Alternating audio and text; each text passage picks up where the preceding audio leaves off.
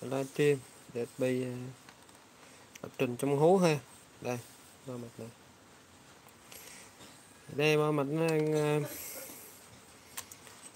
công suất là 150W ha. Để ờ, cho phép mình đánh lo 4 tấc đơn ba tấc đôi. Đây, có một sung IC là giữ cái miếng nhôm này ha. IC T3 36 đây ha. Cơ, đây, ngõ ra lo nè thì khi anh em mua mạch mình sẽ kèm dây kết nối đầy đủ hết. Thì kết nối với bình dây kết nối ngõ ra lo này. Ừ. dây cắm nguồn điện 220 cái remote đầy đủ hết. Đây nguồn sung này ha. Nguồn sung. Nguồn sung này đủ công suất cấp cho mạch. Ví dụ như mình không có bình thì mình có thể chạy được điện trực tiếp 220 V ừ. mình cắm vô phía trước này nó có chức năng là sạc bình luôn ha. Sạc, sạc bình luôn. Ừ. sát sạc ngắt sạc đây tử ngắt. Ừ. Cho nên anh em cũng không có lo sợ ha. Nhiều anh em lo sợ là cắm vô sạc, không biết nó có đầy nó ngắt hay không. Đó. Đảm bảo với anh em là khi đầy, mức điện áp đầy nó nằm khoảng mà 13 8 của bình ắc quy nó sẽ tự ngắt à, do vậy là mình cứ cắm sạc nguyên đơn để cho nó đầy bình ừ. nhiều anh em hỏi à, vừa cắm sạc vừa cắm xài à, vừa xài vừa sạc được không vẫn được ừ. tuy nhiên là cái bình mình nó mau bị hư đó. Cái bình này nó giá giá tiền trong cái thùng lo kéo nó không có rẻ ha nó cũng chiếm một phần ừ. do vậy là bảo vệ được cái bình nó là sử dụng lâu dài là điều cũng quan trọng, ha ừ. đối với bình da mạch này, mình sử dụng bình à, chín 9Ah đến 12H ha ừ. thì như vậy nó chạy, nó sẽ lâu, ha. và nó đủ dòng để cấp cho mình ha còn số anh em hay dùng bình xe máy thì chưa đủ hơi yếu. Ừ. kéo nó sẽ um, mau hư bình ừ. lại không đủ dòng mà. Cái dòng nó rút là khá lớn. Ừ. bình nó nó phóng rất là mạnh. Ừ. Bình dở kiệt mau hư bình ừ. mấy anh em ờ, muốn sử dụng bình bền hơn thì mình cũng phải hiểu sơ qua. Đảm bảo cho đúng kỹ thuật.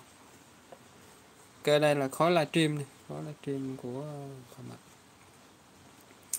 à, có bốn cái chất cắm ha. Đây. Thì số anh em mà chưa hiểu thì mình nói qua. Lay A lay B. Thì một cái lay A này mình cắm một cái điện thoại để bắt Bluetooth ha. Nếu như mình bắt Bluetooth của mạch thì thôi khỏi ha. Khỏi cơ. Ừ. rồi cái layer B mình cắm với một cái à, điện thoại mình đỡ phát livestream. Sơ mic để mình đỡ sử dụng cái micro dắt ba ly rưỡi monitor là dắt tai nghe. Ha, này, von của tai nghe. Ừ, tai nghe. Thì mình chỉnh cái âm lượng này sao cho nó phù hợp. Ừ. Để nó không quá lớn lớn quá, bên kia nghe khó chịu lắm. Ha, chỉnh cho phù hợp. Nay có cái phần eco này là phần eco dạng lập trình. Ừ.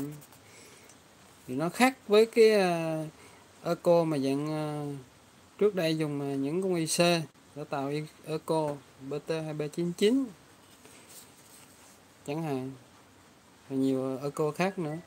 Thì cái tiếng của nó nó sẽ mượt mà hơn rất là nhiều. Ừ. Và nhờ cái lập trình này nó có, nó sẽ lập trình chống hú luôn ha. Ừ này dạng lập trình. Ừ. Và nó có thuật toán chống hú đầy đủ hết. Do vậy là mình ngồi kê gần lo, mình không sợ hư lo. Ừ. Nhất là cái lo chép ha. Ừ. Nếu anh em nào mà đỡ hú nhiều lo chép sẽ hư trước. Và lo chép hư, nó sẽ kéo theo mạch, nóng theo, dở hư hơn. Thì do vậy là lo kéo là thường là phải chống hú, hiệu quả cao. Thì lúc đó mình ca mình ngồi gần lo nó mới thấy cảm thấy dễ chịu. Lo kéo là loại lo mà mình sẽ ca ngồi gần lo thôi. Ừ. Không thể nào mà cách xa hai ba mét được. Ừ. Ok chưa? Nên phần lo kéo mình à, luôn luôn nhấn mạnh là phải có chống hút ừ. hiệu quả cao thì lúc đó mình sử dụng nó mới thấy thoải mái luôn, ha ca mình cứ hú đít. Khó ca lắm. Đây là dạng à, mạch DSP lập trình có chống hú. Eco nếu mà mình à, mình chỉnh, giảm nhẹ eco xuống, giảm eco xuống, thì nó ra cái tiếng của nó là gần giống như reverb số anh em, nếu đã mua rồi thì chỉnh tự thử nghiệm lại, ha mình cũng đã cũng có đã có video một số video test về cái mẫu bao mạch này TB và 602 rồi đối với con IC TB TBA 602 á, thì cái tiếng của nó khá tốt ha âm thanh chất lượng. Ừ. thì nếu như các anh em nào đã sử dụng qua thì cũng đã biết rồi ha. Không giới thiệu nhiều có chưa? Nó cho mình chỉnh được uh, mid bass mid chép. Mid bass mid chép. Cả guitar này ha. Hai cổng mid một cổng guitar ha. có công tắc led ha. Okay. thì đối với cái mẫu bo này thì ờ, thông thường ờ, các anh em dùng cho thay thế cho những lùng thùng lo mà bốn tấc ha. Bốn tấc ha đó. Đánh con 51 ừ. con 51 tự trăm tư. Đánh mạnh luôn ha. Hay là dạng à, ba tấc đôi. Ba tắc đôi. Ba tắc đôi còn 38 đánh à, một cặp đánh mạnh luôn đánh căng luôn ha. Ừ. Cơ. Kết cấu bên trong chắc chắn không? Quay cận cảnh luôn này. Thì cái à, ở đây phần giới thiệu ha. Ờ, video test thì mình đã có video test trong video khác rồi ha. Đây ngõ ra lo nè mình cũng à, nói thêm về cách à, kết nối. Đó, thì đối với lô đơn á thì mình kết nối bát trung trép vào một ngõ lỗ trung lỗ trép qua tủ. Là đủ rồi ha. Không không phải cần qua phân tầng làm gì nhiều anh em cứ cứ sợ mở lần phải qua bát trung chép là phải qua phân tầng, không cần ha. Qua tụ là được. Đây, đúng kỹ thuật là được ừ. đánh mạnh, âm thanh hay là ok rồi, ha. Còn đối với à, lo đôi thì mình lắp à,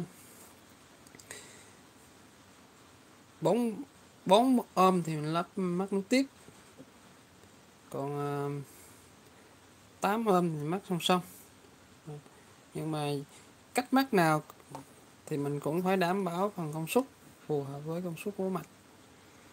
Mạch này là công suất của nó là 150W ha. 150W đây là ngõ vào của bình ờ, bình bên ngoài, bình bên ngoài. Thì dùng cho, dành cho xe hơi. Đó. lúc này mình chỉ cần cắm bên ngoài thôi. Đó. không cần sạc thì bình trên xe là nó đã tự sạc được rồi ha mình không cần sạc, mình cắm bên ngoài. Ừ. Đây. Nha. bên này vô đường DC 12V nó tương đương với cái đường bình. Đường bình ắc quy này mình cắm bên trong. Tuy nhiên nó sẽ không có đi qua cái cái à, mạch sạc. Nó không đi qua mạch sạc đây là khối boot áp. Bút boot áp. Kích cho áp cao cho con IC này chạy. Thì những IC mà có boot áp thì nó sẽ đánh ờ, mạnh hơn. Áp cao thì nó lợi dòng, đánh mạnh hơn. Có nhiều IC thì nó chỉ cần ờ, bình cấp trực tiếp vào thôi, để chạy luôn. Thì những mặt đó thì nó sẽ, công suất nó sẽ không lớn được ha. Đây là dòng mạch ta 3 hoặc 6 d 2 đệt lập trình chống hú có livestream ha. Đó âm thanh là cực kỳ hay luôn. Ok chưa? Rồi mình kết thúc video giới thiệu uh, đây ha.